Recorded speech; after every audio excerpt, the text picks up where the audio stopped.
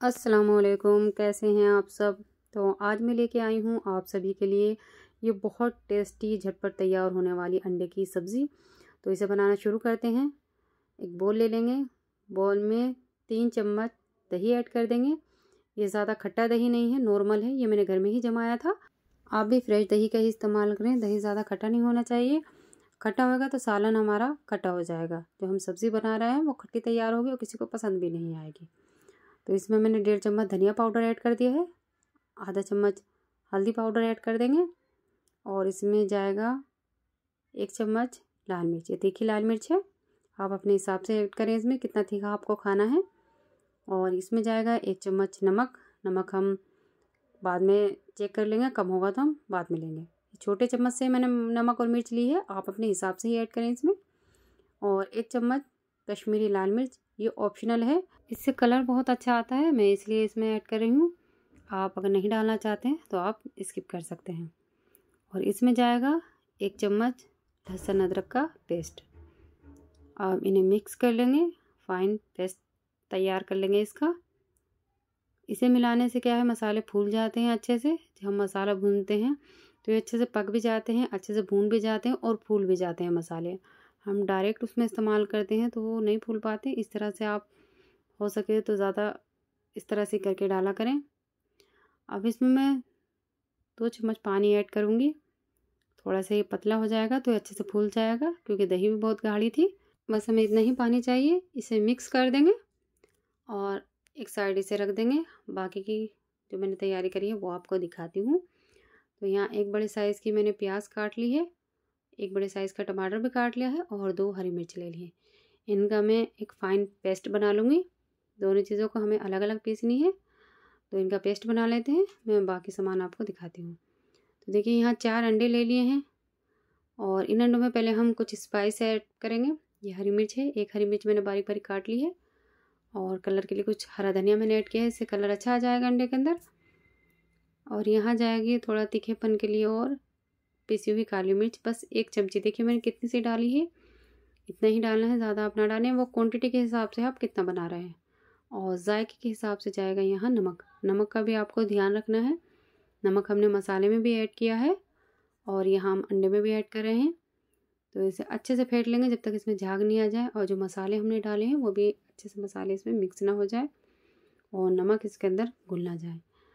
तो इसे ऐसे हाथ से चलाते हुए फेंट लें। आपके पास जो सामान हो, आप उससे फेंट सकते हैं।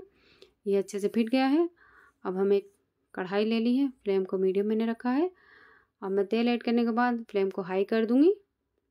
तेल जैसे अच्छे से गर्म हो जाएगा तो फ्लेम को मैं लो कर दूँगी। तो देखिए, यहाँ फ्लेम मैंने लो कर दिया, तेल अच्छे से हो चुका है। खड़े गरम मसाले डालने के बाद थोड़ा सा इसे चला देंगे। गरम मसाले की खुशबू तेल में आ जाए। यहाँ प्या प्याज ऐड कर देंगे, जो हमने पीसी थी।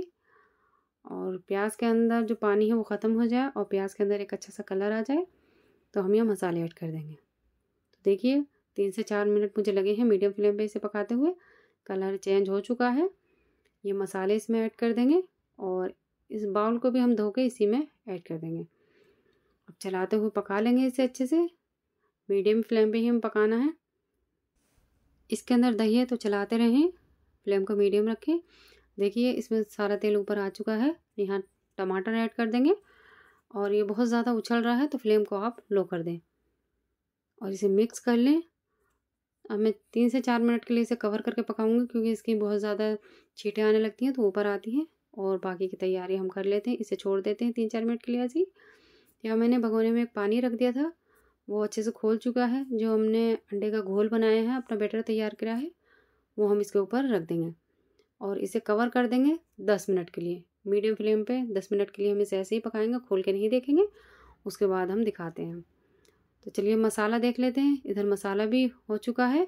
मसाले को कुछ देर हम चलाते हुए भून लेंगे। देखिए कैसे इसमें से छींटे से उड़ रही हैं। तो इसे हम फ्लेम को मीडियम करके कुछ देर ढक्कन ढक्कन हम और पकाएँगे, क्योंकि बहुत ज़्यादा उछल रहा है अभी। तो इसे कवर कर देंगे चार से पाँच मिनट के लिए। तो देखिए, चार से पाँच मिनट हो गए थे, तेल ऊपर आ चुका है। अब इसे चम्मच से चलाते हुए मैं कुछ देर के लिए भून लूँगी जब तक तेल अलग ना हो जाए और मसाला हमारा गाढ़ा ना हो जाए। तो देखिए, मसाला अलग हो चुका है, तेल अलग हो चुका है, कितना अच्छे से मसाला भुन चुका है, कितना दानादार तैयार हुआ है मसाला। अब मसाले को थोड़ी देर छोड़ देंगे हम, फ्लेम को बिल्कुल लो कर देंगे और देख लेते हैं, इधर अंडा हुआ है नहीं तो देखिए अंडा भी हो चुका है।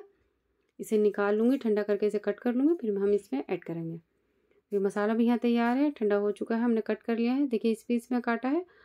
आप भी इसी तरह से काट के इसमें ऐड कर सकते हैं। आप चाहे तो अपने शेप से, अपने हिसाब से दे सकते हैं। ये कसूरी मेथी को मैंने भून लिया है, भून कर मैं इसमें ऐड कर दूँगी। और ये डाल रही हूँ मैं एक छोटी चमची चिकन मसाला। चिकन मसाला आप अपनी मर्ज़ी के हिसाब से डाल सकते हैं। चिकन मसाला डालने के बाद इसके अंदर बहुत ज़्यादा अच्छी खुशबू अच्छा फ्लेवर आ जाता है। इसे मिक्स कर लेंगे।